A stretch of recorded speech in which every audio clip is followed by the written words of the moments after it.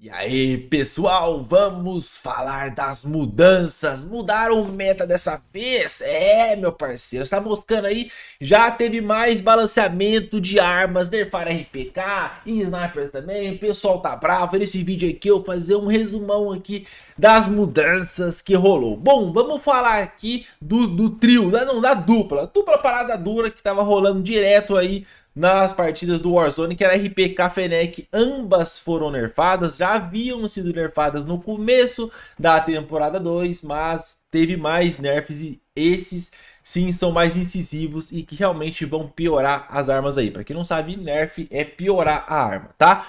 Primeiro nerf na RPK, foram três. O primeiro deles, aumento do recuo inicial, tá? Quando dá aquele seu primeiro tiro, vai ter um recuo maior. Então, um pouco mais difícil de você conseguir fazer aquele sprayzinho infinito no cara ali. Um pouquinho mais difícil agora, entendeu? Aumento do recuo horizontal. Então, quando você começar a tirar, ela vai começar a andar mais pro lado do que antes. Antes ela só ia para cima, você segurava o analógico para baixo, safe de segurar o recuo. Agora tá um pouco mais difícil de segurar o recuo.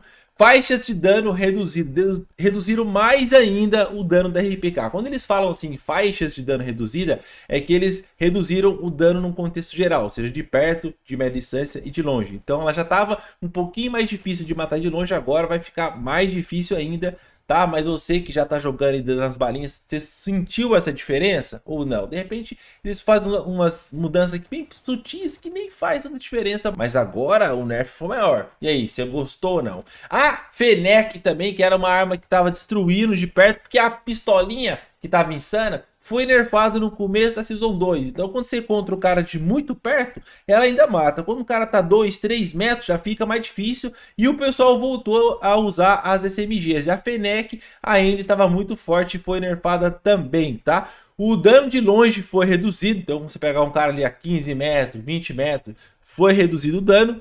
E o dano contra é, o inimigo contar com a armadura. A armadura que eles falam é os coletes foi reduzido também, tá? Requer duas balas adicionais para quebrar três placas de armadura. Então tá aí para vocês. Se antes você quebrava as três placas, não sei, com 10 tiros, agora são 12 para quebrar as três placas. Então tem esses nerfzinhos aí que provavelmente deve impactar o da Fenec. É mais, mais sutil, assim, na RPK acho que foi maior. Todo mundo jogava de RPK, era impressionante, cara.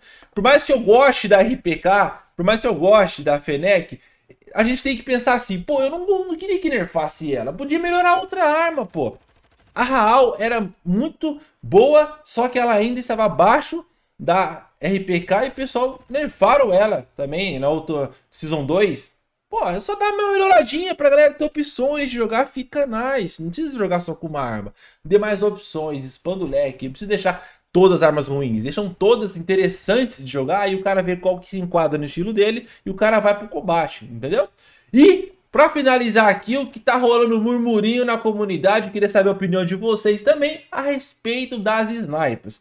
No começo da Season 2, eles fizeram as modificações lá e com a munição incendiária, você conseguia derrubar o cara com um tiro na cabeça com algumas snipers. É claro que você não derrubava instantâneo, mas você deixava o cara com um de vida Aí ticava o dano da bala incendiária e você morria. Resumindo, você morria com um tiro na cabeça, entendeu? E eles voltaram atrás e já mexeram nisso aí. Agora você não consegue mais derrubar um inimigo com um tiro na cabeça usando bala incendiária. Mas e aí? Você curtiu? Você gosta da sniper matando com tiro? Você não gosta? Tem sempre os prós e os contras. Eu queria saber a opinião de vocês. Deixa aqui no campo de comentário, beleza? E aí? Essas mudanças que rolou no Warzone 2, você já sentiu diferença? Tem gostado? Que arma você tá jogando, cara? Comenta aqui abaixo. Vai surgir um novo meta e quando vier com a arma insana aqui, porque por ressurgência lá, a ISO tá on fire. Você joga ressurgência, a ISO está insana. Mas pro Warzone a pegada, o buraco é um pouco mais embaixo, não é verdade? Então deixa aqui no campo de comentário que arma que você está jogando no Warzone e eu vejo vocês no próximo vídeo.